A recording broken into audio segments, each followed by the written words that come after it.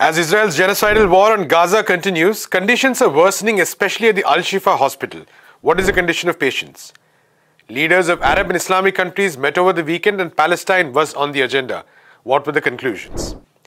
And UK Home Secretary Suella Braverman has been fired. What is her legacy? This is the Daily Debrief. These are your stories for the day. And before we go any further, if you're watching this on YouTube, please don't forget to hit that subscribe button.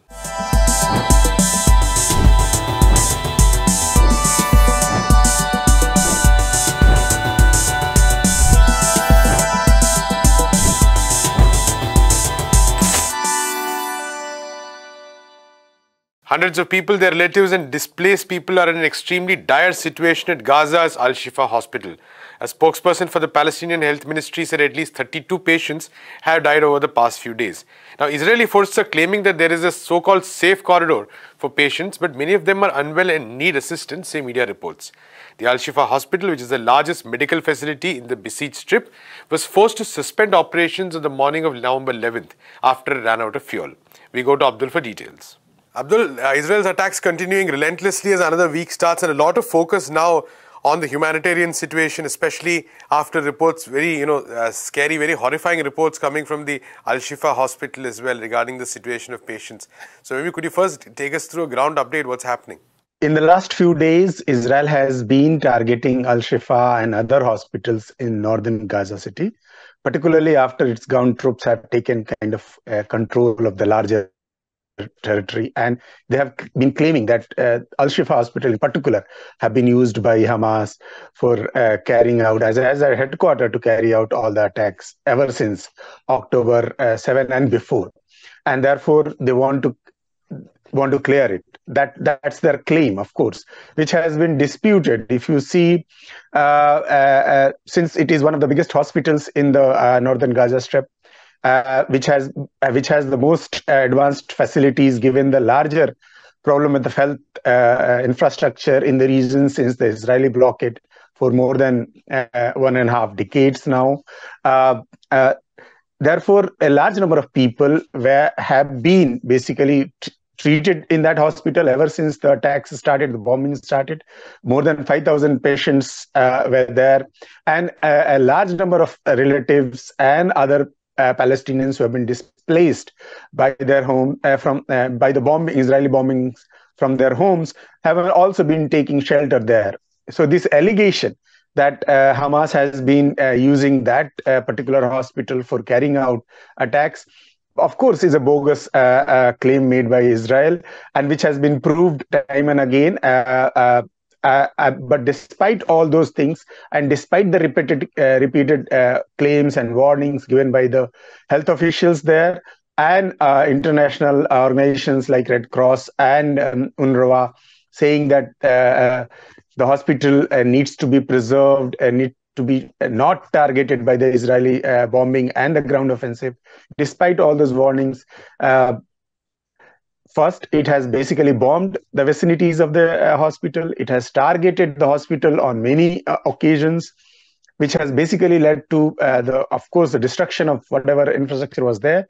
There, there are also, uh, of course, because of the lack of fuel, the, the, electricity supply has been disrupted.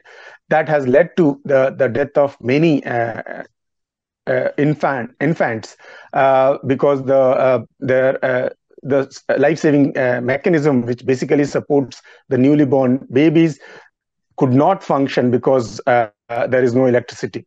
Uh, the patients who were trying to Israel was claiming that they have given repeated warnings for the people to leave, but whenever they were trying to leave, they have been uh, fired at. There are, according to the reports, snipers uh, around the uh, hospital which are targeting the people who are trying to leave the hospital there are also reports of doctors being harassed, uh, in fact, attacked uh, by the Israeli soldiers uh, uh repeatedly. Uh, some of those doctors have come up and given their testimonies in public. Um, uh, and therefore, the, the entire infrastructure of the hospital has basically collapsed. but those who are doctors inside, they're still trying to do something.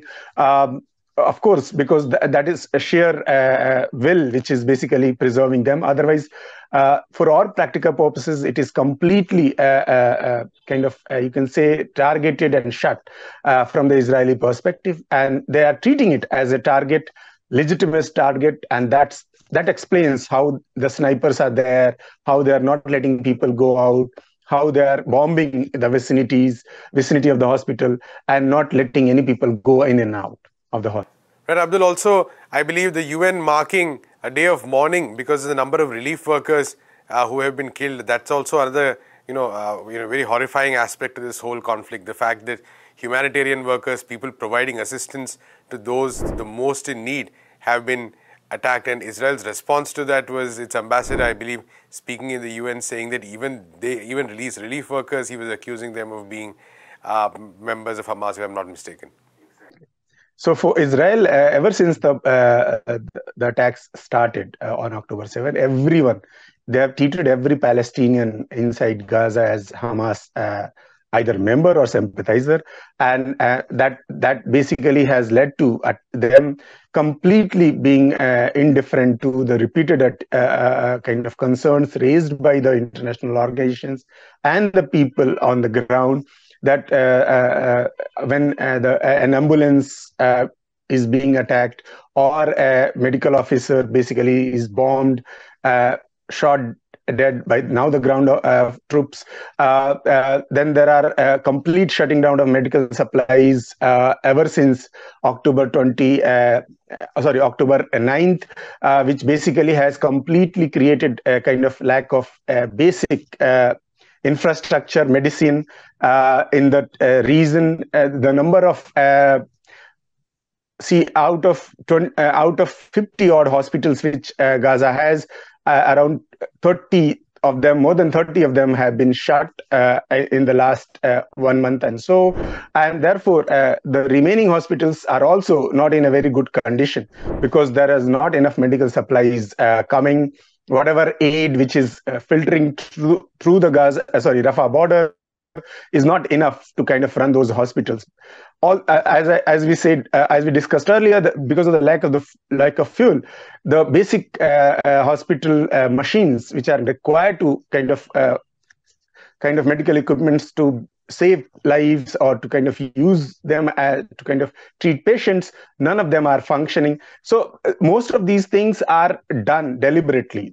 Because as you rightly pointed out israeli ministers israeli ambassadors uh, in, on international forums have justified saying that these medical uh, official, officials, the aid workers which work with Red Cross or the Red Crescent or UNRWA or any other uh, group uh, which is working on the ground, are all basically uh, members of Hamas and they are aiding Hamas. They are trying to basically shield them.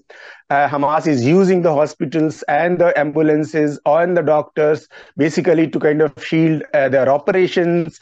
And therefore, every target in uh, uh in Gaza is a quote unquote legitimate target, and that has basically that explains the uh, number of if you see there are reports coming that apart from those who are wounded, uh, there are other uh, uh, diseases breaking out in in Gaza. Which, which basically, uh, of course, it has also to something to do with the uh, co- complete collapse of the civil infrastructure, sanitation, water supply, and so on and so forth. And the blockade, of course, but it has also to, to do with the complete lack of any medical care. Uh, so whatever is available is used for emergency care for the, uh, to treat wounded and uh, uh, uh um, people who are uh, victims of Israeli bombings or, or the ground troops attacks, and therefore the other diseases, other things which are which need immediate attention is by and large not taken care of, and that explains the apart from other things, explains the uh, complete collapse of health services uh, uh and a, greater uh, rise of uh, different kinds of um, epidemics in, in, in Gaza at this moment. Right, Abdul, thank you so much for that analysis, but please do stay back because we are coming back to a very connected story. Leaders of Arab and Islamic countries took part in a keenly awaited meeting over the weekend, during which Palestine was the subject of discussion. The meeting took place in Riyadh, and the attendance of the Iranian President Ebrahim Raisi and Syrian President Bashar al Assad was especially significant. The joint communique warned Israel of the disastrous consequences of its war crime. We go back to Abdul for more details. Abdul, so coming back, a very significant uh, meeting, especially considering that both the Arab countries and the OIC uh, sort of, it is kind of a combined meeting at this point. Very challenging questions, and before the leaders of many of these countries who have taken a wide variety of positions, let's be uh, clear about that. Although on, on all these, in all these countries, in the streets, in any kind of popular space, you see this massive solidarity with the Palestinian people. So, a real question mark for many of these leaders. So, what was the broad sort of conclusion of the summit, or where were the directions in which it was going?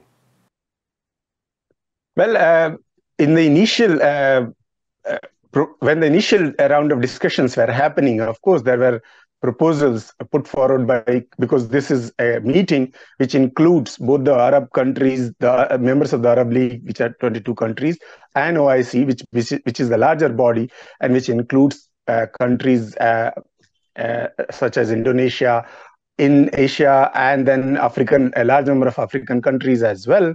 So, of course, given the wide variety of countries which were represented in the summit, uh, there were different kinds of proposals coming in, and some of them, of course, were pitching for a, a very strong uh, uh, kind of step against Israeli uh, attacks on Gaza, particularly Iran, uh, asking for a complete boycott by all the members of the OIC, which is more than 57 countries uh, from across the world.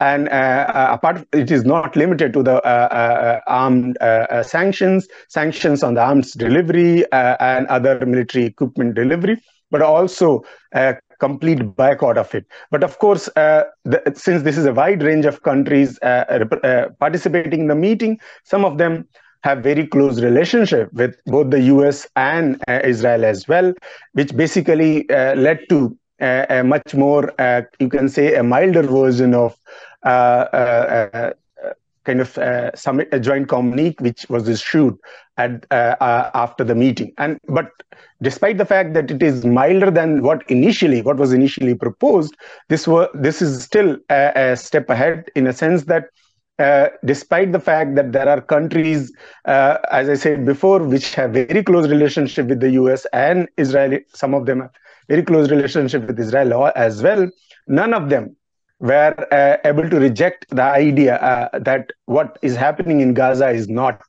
Israel's right to self defense. And they all agreed that this is not a justification, it is basically an occupying force which is using uh, uh, an incident of attack to retaliate or to kind of take revenge against the people uh, uh of all, all, Palestinian people.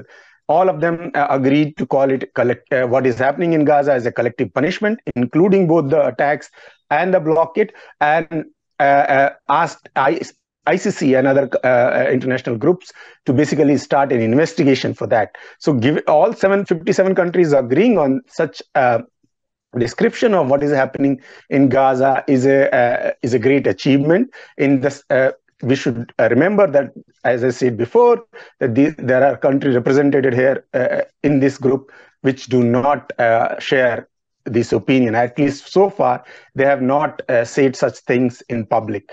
That is one. Apart from that, uh, uh, the communique is a very long communique. It also talks about um, uh, immediate need for uh, starting an international peace conference, which will lead to a two-state solution. Agreeing that without a two-state solution, there is no peace and stability in the region, and there is no possibility of any normalization of relationships with either Israel or uh, if, if, this continues, they also uh, very much underlined that if this continues, this there's some of them um, uh, the communique called it a biased uh, implementation of international law, and if this continues, the relationship between the uh, members of OIC and the US will also be because they did not name us of course but th- that was the hint that israel is doing what it is doing because there are certain countries which are letting it do such things and therefore if it continues uh, the, their relationship might also get affected. So it's a,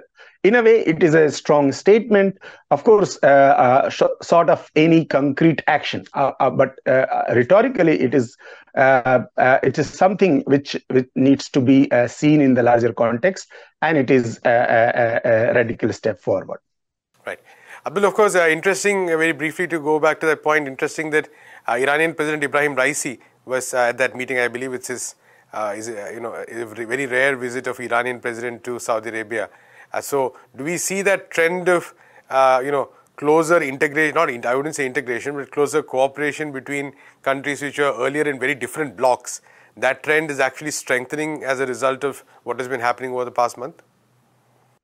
Uh, of course, this is the first uh, visit of an Iranian president to Saudi Arabia in more than a decade, 11 years, in fact. So uh, the process was started in March. The, uh, what generally is called rapprochement between Iran and Saudi Arabia has uh, led to a kind of an unfolding of uh, events, which basically, and, and if we see what is happening ever since the war in Gaza started, Iran and Saudis have been coordinating their their clear indication that they have been coordinating their responses uh, to uh, uh, not only uh, to the what is hap- uh, in the region but also on the global forums and that is something which has which is something unique uh, given the history which uh, Saudi Arabia and Iran had uh, has for all these years. Uh, and if you see in that context Syria was also invited again for the this OIC summit so, and uh, so Syria, Iran being a permanent uh, uh, uh and uh, kind of welcome presence to all these forums where Saudi Arabia and other countries which are not very friendly, which have not been very friendly to both these countries, is a sign that, of course, a, a greater integ- a kind of integration, at least on regional issues, is happening. Greater coordination on re- regional issues is happening and and uh, this in particular is very significant uh, given the, the nature of the uh, uh Palestinian uh, issue and the U.S. role in it. So U.S. has been very clear about kind of. not letting the Arab countries unite behind a stand, and of course, trying to alienate Israel, Iran completely from the, the group of countries which it considers to be uh, close to it and and all those attempts, uh, Austin visiting, uh, Blinken visiting, Biden visiting the region, going to uh, going and meeting uh, uh, uh, people in Iraq, people in leadership in Iraq, leadership in Saudi Arabia, leadership in Jordan. given particularly these three countries, which post 2003 have been quite US pro US if you see the responses and the way have they have they have kind of uh, a kind of uh, some kind of symphony with is, uh, Iranian position uh, on on Palestine. This is a clear indication that uh, the U.S. efforts to dominate the region the way it used to dominate till now is not working, and and and there is a growing kind of realization among the countries in the region that they need to kind of uh, coordinate their stands to uh, so that external intervention, as they call it, some of them uh, is minimized, and the countries of the region can have much more assertive, independent uh, positions on the issues which matters to them and to uh, the people, uh, the people there. Right, Abdul. Thank you so much for that analysis. We'll keep watching this space as you know. I think the, there's a lot of potential in terms of how many of these governments might move. Thank you so much. And finally, after an extremely controversial career as Home Secretary, Suella Braverman has been fired by British Prime Minister Rishi Sunak. The action is believed to be due to an article she wrote which is critical of the police for supposedly being too lenient with protesters who express solidarity with Palestine. But this is not the first outrageous statement that Braverman has made, and she's often made a lot of offensive comments about asylum seekers and refugees, and her record as Home Secretary has been severely criticized by activists. We go to Anish for more. Anish, a lot of the media reporting is going to be focusing on David Cameron's return as the uh, to do mainstream political life, all this talk about political comeback, etc., etc. But the key point we need to sort of focus on is, I think, Suella Braverman's record uh, you know, especially her recent statements, but also build, which is building on a long trajectory of extremely uh, offensive remarks against various sections. But for the benefit of viewers, could you maybe first take us through why the Home Secretary of a country like the UK was fired by the Prime Minister? Uh, well, the most immediate thing is the fact that she uh, criticized the police for apparent uh, double standards uh, when it comes to uh, pro-Palestinian protests. But the thing is, like, she wasn't really stating the truth. We know for a fact that there has been uh, let's, know, let's be clear. When she was criticizing double standards, she was saying the police should have been exactly. more violent against. Exactly, ah. exactly. Like that. Uh, the police should have really cracked down on the Palestinian protesters, but uh, we know that that's not uh, the case. The police have been uh, not very friendly for uh, the pro-Palestinian cause, especially uh, with some of the uh, you know hounding of some of the activists and organizers of heated protests. But that aside, she has very clearly gone against the government in many ways uh, with this criticism and that has essentially and because the home department is the one that is leading the police essentially she pretty much uh, criticizes not just her own government but her ministry as well. So it was a you know a very confused set of uh, statement. And this is the most jarring thing that the fact that she her criticism of police for whatever reasons like uh, and like uh, despite the fact that it, it is not based on facts uh, was the reason was the last straw for the government to actually take her out. Uh, considering the she has said and done far worse things uh, over her tenure as the home secretary and uh, not uh, least of all against immigrants. Uh, being an immigrant herself, the irony uh, of it just flows through. But uh, being an, uh, against immigrants, against asylum seekers, against people who are seeking refuge, by going through a very precarious and dangerous voyage across the Mediterranean, and obviously being the most upfront and the most honest of the conservative parties uh, policies and being very honest about its policies and defending it, uh, whatever uh, whatever criticism that might be uh, held against her. Uh, that none of these factors actually really uh, affected her stand or her standing within the government. And that's the most important thing I feel. And it's quite clear with the replacement, it's not that different. It's just that the person might be more diplomatic when it comes to uh, you know stating some of the things that she might have done in a more crude manner. Uh, that aside, it's also uh, a very clear indication of how desperate the Sunak government is. Uh, recent bypoll uh, uh, routes that they have lost seats that they have held for decades, even and to pretty much any uh, you know significant opposition party that might exist in those uh, constituencies uh, has really alerted the government to its growing unpopularity among the people and the fact that its policies are really not translating to any kind of support on the ground. And this attempt to reshuffle the cabinet and in you know in even bringing back cameron who was pretty much kept on the backbenches for so long uh, clearly shows how desperate this government is right now to try to shore up some amount of support that they might have among you know the more conservative or right wing voters. Well, Anish, thank you much for that quick update.